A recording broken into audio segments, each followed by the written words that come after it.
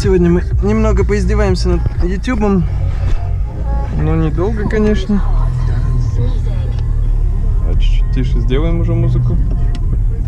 А, Ну, как-то музыка что-то не совсем подходящая, конечно. Но сейчас попробуем проехать. Э.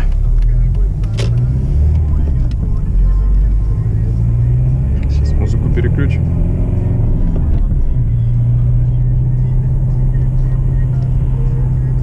Я не что здесь есть вообще. Рекорд вообще интересно, то что-нибудь нормальное, то что-нибудь не очень идет. Особенно если общую станцию, скажем так, включить, не жанровую. Туда вообще там полный начинается цирк со всеми удовольствиями.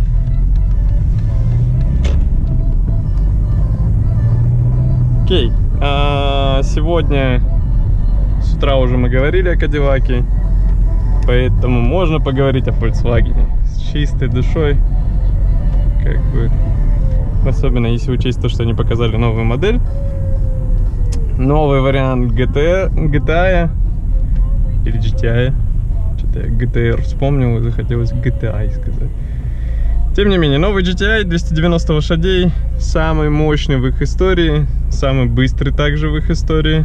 Это не ограниченная серия, причем самый как бы интересный нюанс, то что вроде бы казалось бы вот такие серии обычно выпускают ограниченными тиражами, но это не ограниченный тираж. Хотя с другой стороны, если посмотреть то, что уже семерка Гольфака потихоньку подходит к концу своего жизненного цикла, то я думаю, скорее всего, немного этих машин будет живьем, скажем так.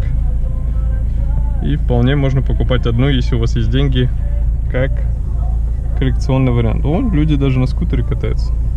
Сколько градусов? 8. 8 градусов, ё-моё.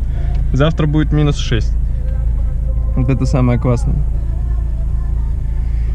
Вот, 290 лошадей кидает его очень довольно-таки быстро, но максималка все равно ограничена 250, насколько я помню, 260 можно докупить, это в одном из пакете опций, первом, так скажем, начальном уровне, а на втором уровне еще получаете большие колеса и немного другую окраску. В принципе, на этом все преимущества заканчиваются. Я не совсем понял, почему на фотках идет трехдверный только.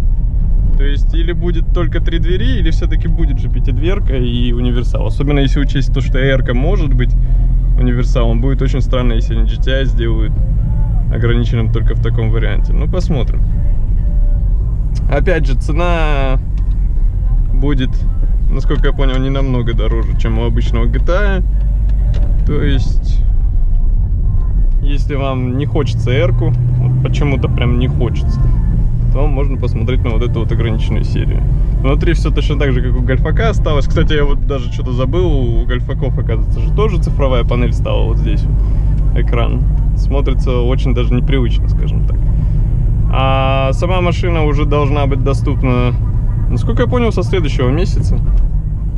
То есть, если прям очень сильно хотелось Гольфак, то тогда можно брать.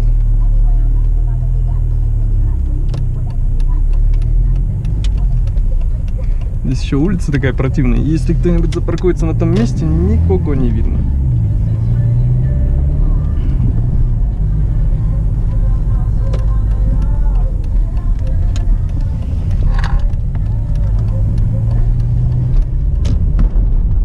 Вот это вот тоже не совсем понимаю.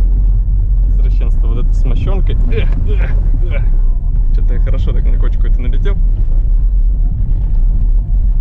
Очень хорошее испытание для подвески.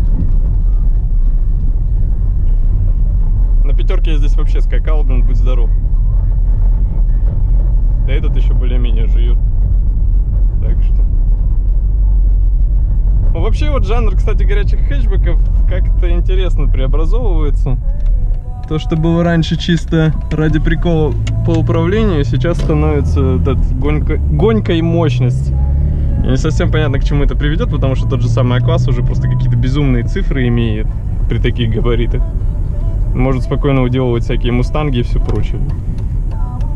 Поэтому не знаю, до чего это доведет, но мне кажется, общий смысл горячего хэтчбека потерялся. И сейчас вот единственное то, что можно взять более-менее горячее, это может быть Клио РСовая. И то не факт. Поэтому на сегодня, я думаю, все. И можно лишь догадываться, что принесут нам автомобильные новости завтра. Но, разумеется, мы об этом тоже поговорим в нашем видео. Ух, если дороги нас никак не откорректируют. Сейчас поедем на эту полосу.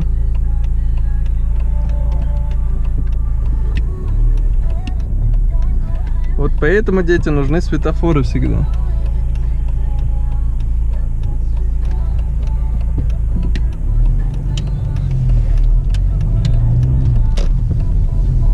Здрасте. Вот, ну и гольфак, следовательно, я бы не отказался на таком прокатиться. Так что увидим, как он будет в реальности смотреться с этими странными стикерами на боках. На сегодня все. Увидимся, как обычно, завтра. И пока.